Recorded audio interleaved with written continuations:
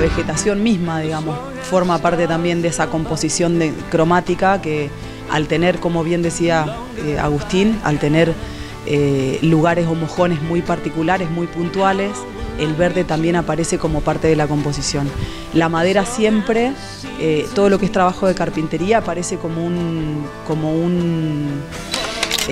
gesto, una impronta como bastante silenciosa, aparece la curva también en la madera, el diseño de la carpintería y de los detalles que tiene la carpintería también eh, forma parte un poco del diseño integral de la obra.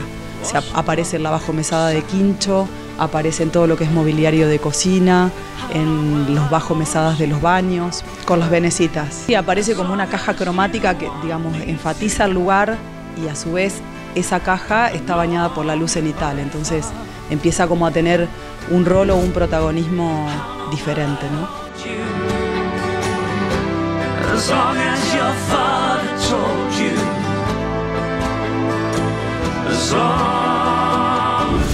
Nosotros siempre decimos lo mismo, contamos con el apoyo y de alguna manera el eco y la respuesta del propietario de la aceptación a la propuesta cromática general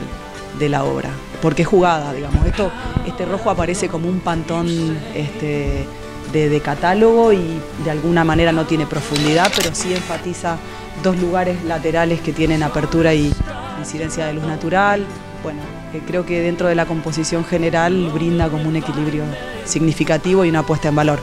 El negro y el blanco aparecen como una especie de, de yin y yang o de alguna manera como enfática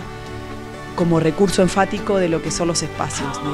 las cajas negras son los lugares o los recintos de encuentro y la parte blanca, el, ladrillo a la vista pintado de blanco, aparece para los lugares más íntimos, más privados.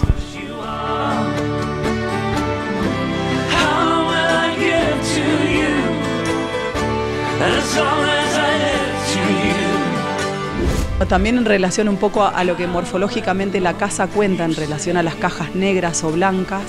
eh, parte del proyecto también eh, hace, puntualiza específicamente en ese recurso. Los espacios blancos son de menor altura y tienen que ver con los espacios más privados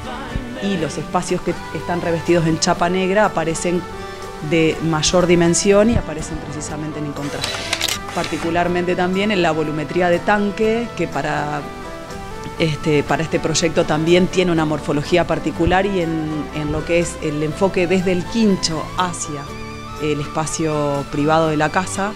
uno entra a dimensionar la caja de tanque como parte de esa composición morfológica, de este diálogo entre los blancos y los negros.